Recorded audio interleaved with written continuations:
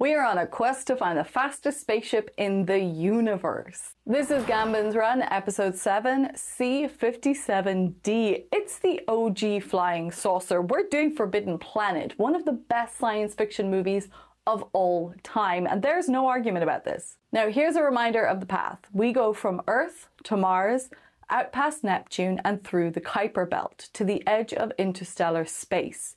We traverse the Oort cloud to exit our solar system and head straight for the Orion Nebula, swinging around to the edge of the Milky Way and out across intergalactic space to reach Andromeda Galaxy.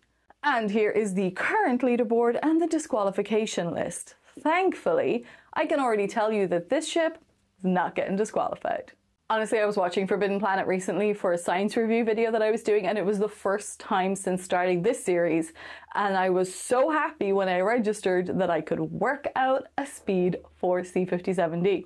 Now, in the movie, they go to the planet Altair 4, which is orbiting the very real star Altair. Now, the planet isn't real. We have no confirmed data on Altair having any planets as of yet, but the star is. And Altair is in the Aquila constellation, which is 16.7 light years away. And we know that it has taken them just over a year to get there. Now, at one point, the captain actually says that they haven't had shore leave in 378 days. So we can take it that that's how long they've been traveling. So to travel 16.7 light years in 378 days, you would have to be traveling at about 16.13 times the speed of light.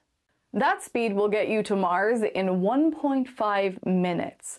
It will get you through the Kuiper Belt in 15 minutes and out across interstellar space in one hour, exiting the Oort cloud in 45 days.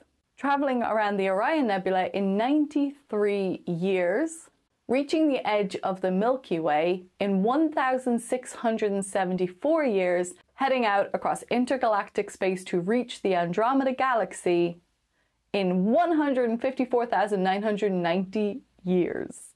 You guys, that puts Forbidden Planet in fourth place, which is not freaking bad, right? For a movie made in like the 1950s. Okay, I'm pretty happy with that, uh, but let's pick the next one from the jar. So um, we have got Event Horizon. uh, this comes up a lot actually. This is requested a lot. Uh, so yeah, Event Horizon. Oh, it's a pity I didn't get this for Halloween. okay, cool. Thanks for watching. Stay nerdy, you guys. Bye.